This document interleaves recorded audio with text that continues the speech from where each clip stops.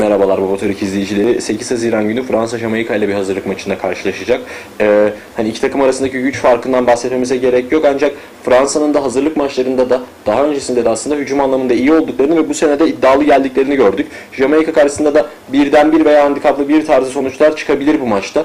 Gol bahsi olarak da hani gol yok denenebilir. Yani Jamaika'nın ben Fransa ile oynayacakları maçta o baskıyı da sonra e, ben hani Fransa'ya bir gol atacaklarını düşünmüyorum, atabileceklerini düşünmüyorum. O yüzden gol yok. Birden bir veya maç sonu bir handikaplı bir tarzı bahisler. Bu maçta önereceğim bahisler.